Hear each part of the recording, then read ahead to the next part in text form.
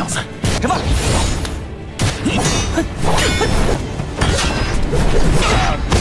不掉本事！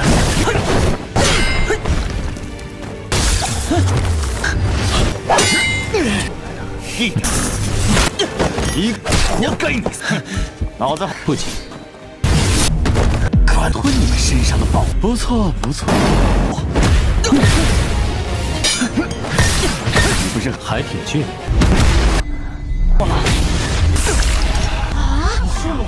四百万金珠，我出两百万金珠，还有更高的价格吗？一千万金珠，没人和我争，真没意义。这也太贵了。连分会会长都亲自主持，都能满载而归中品的第一件东西，这么神奇？平常修饰只要还有一口气。起，现在拍卖今天的。两颗三阶高级丹药，黑色的石头呢？颗丹药就换来这么多。一些强大血脉的妖兽，这可不是石头。这喜好腾云驾雾，好可爱啊！他们不都是传说中的神兽吗？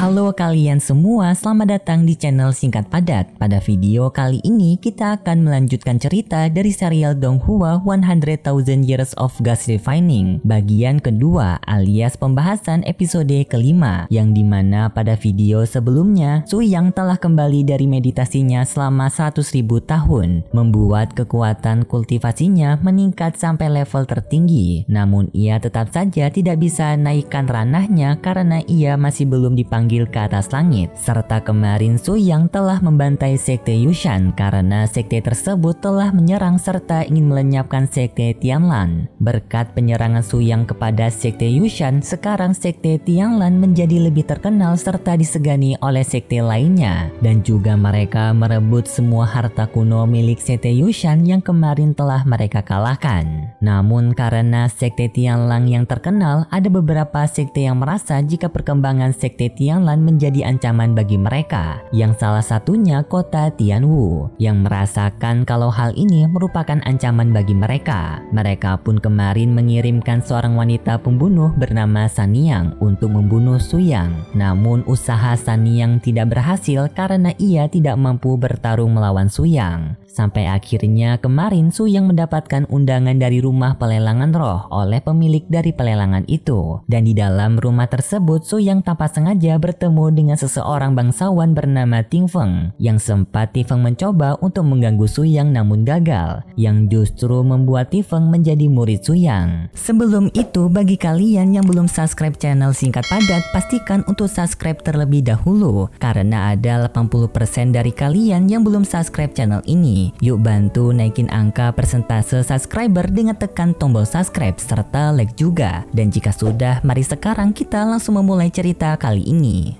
Cerita ini berlanjut dengan diperlihatkan pelelangan yang berada di rumah lelang baru saja dimulai dengan dipimpin langsung oleh presiden pelelangan cabang bernama Zhang Xuantiang yang di mana orang ini merupakan orang yang kemarin telah mengundang Suyang juga. Orang-orang yang berada di pelelangan tersebut menyadari kalau ada sesuatu hal yang istimewa karena Presiden Suan Tiang datang secara langsung. Suan Tiang yang memimpin pelelangan itu memulai acara pelelangan dengan menawarkan satu barang pertama yang bernama bunga ginseng tingkatan menengah pondasi yang dimana memiliki khasiat untuk dapat menyembuhkan orang yang sekarat. Selama orang tersebut masih menghirup nafas, maka obat ini akan dapat memulihkannya. Bunga ginseng ini juga dapat membantu memperpanjang umur manusia menjadi setidaknya 100 tahun lebih. 连分会会长都亲自主持， 都能满载而归中品的第一件东西，这么神奇？平常修饰只要还有一口气。 King Shu yang melihat bunga tersebut pun tertarik dan mengajak Su Yang untuk membelinya. Su Yang menjawab jika ia setuju saja jika King Shu mau dan menyukainya. Ti Feng yang sudah tidak sabaran meminta kepada sang panitia untuk menyampaikan berapa harga pembukaan karena ia ingin membelinya. Suan Tian pun memberitahu kepada mereka semua kalau bunga ginseng tersebut akan dijual dengan harga 1 juta manik-manik emas sebagai harga awal. Semua orang yang mendengar itu pun sangat terkejut dengan harga awal yang sangat mahal. Walaupun mereka semua orang-orang kaya dan bangsawan tetap saja harga segitu sangat mahal untuk sekedar tanaman obat. Walaupun banyak orang yang mengeluh, namun tetap saja ada orang-orang yang lebih kaya ingin membeli bunga itu dengan harga awal dinaikkan menjadi 2 juta manik-manik emas. Lalu King Shu juga menaikkan harganya menjadi 3 juta manik-manik emas. Tetapi tak disangka Tiang Feng menaikkan menaikkan harga tawaran tersebut menjadi 10 juta manik-manik emas. Semua orang yang mendengar itu sangat terkejut dengan tawaran Tiang Feng. King Shu pun mau tidak mau harus menyerah di tawaran ini karena Ting Feng sudah menaruh harga yang sangat besar. Ting Feng pun merasa sangat bosan karena tidak ada orang lain yang ingin melawan harga tersebut.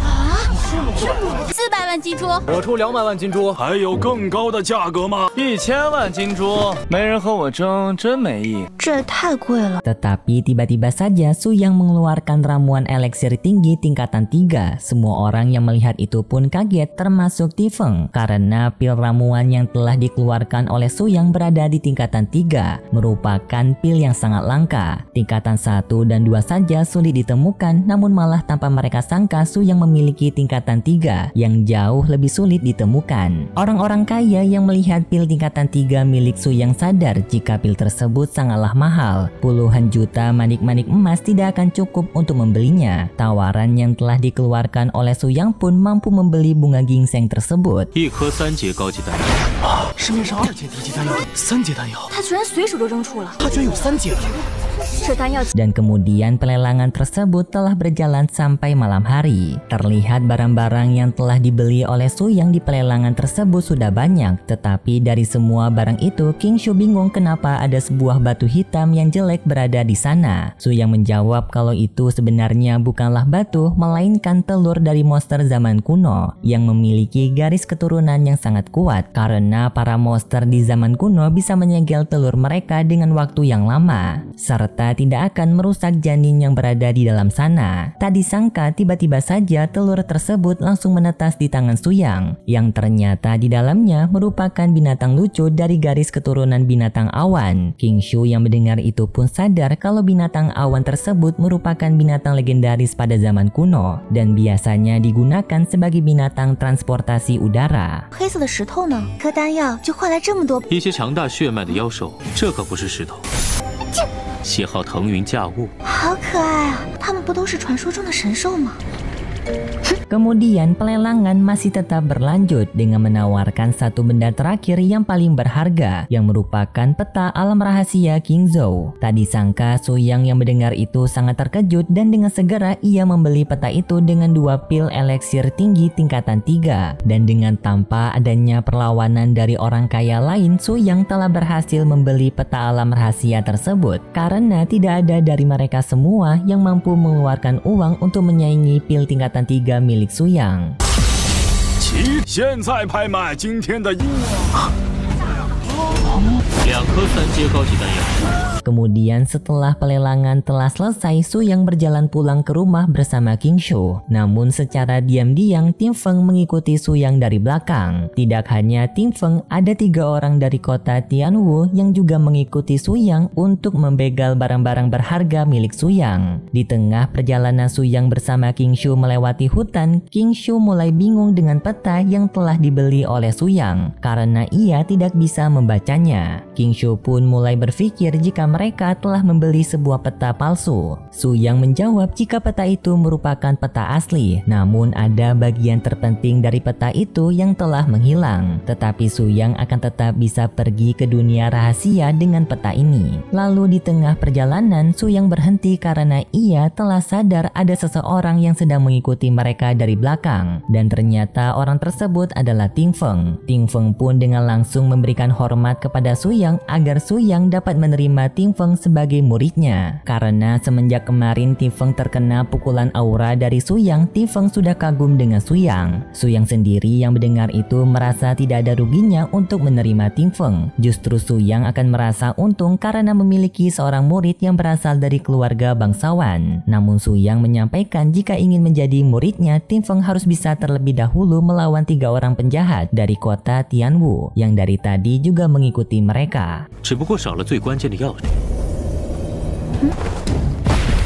您是我见过的，大哥，居然有人你把他们三个解决了， Di sana ketiga orang tersebut mengejek Ting Feng karena telah memohon menjadi murid dari seseorang yang berasal dari ranah paling bawah yaitu permunian. Ting Feng yang tidak peduli dengan perkataan mereka mulai bertarung melawan mereka bertiga agar dirinya diterima menjadi murid oleh Su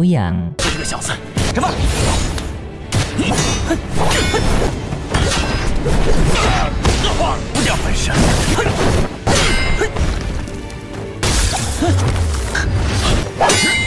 Su Yang melihat bela diri Tifeng merasa jika Tifeng merupakan orang yang berbakat, namun tetap ada beberapa pergerakan yang masih kaku. Namun di tengah pertarungan tersebut, Tifeng terkena gigitan dari teknik ular beracun milik salah satu penjahat yang membuat tubuh Tifeng melemah. King Shu yang melihat itu berniat ingin menolong Tifeng, namun Su Yang menghentikannya karena ia sadar jika Tifeng masih belum menyerah. Tifeng pun kembali bangkit dan berhasil menyerang leher leher Xiaolang dengan tombaknya yang membuat Xiaolang kehilangan nyawa.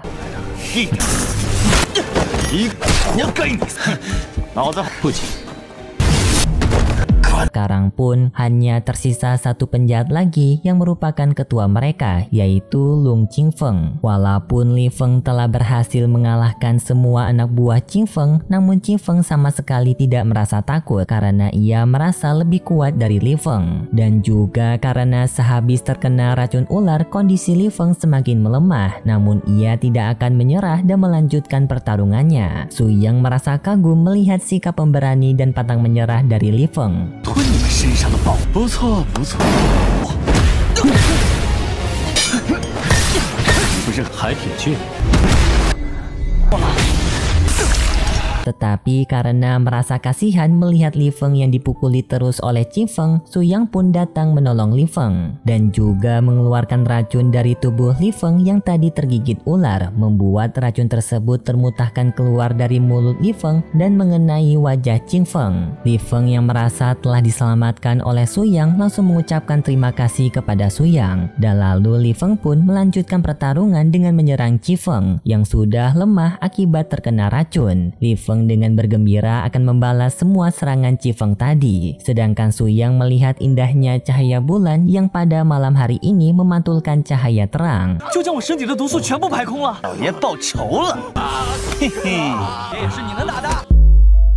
Dan setelah itu pun cerita dari serial Donghua 100,000 Years of Gas Refining episode 5 bersambung. Oke guys, terima kasih buat kalian semua yang sudah menonton video ini sampai akhir. Jika kalian suka dengan video kali ini, bisa beri like serta subscribe dan sampai jumpa di video selanjutnya. See ya!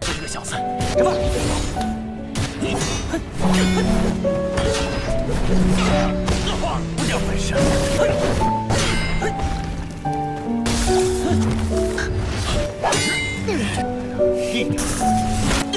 你活该你死！老子不急，可吞你们身上的宝。不错不错，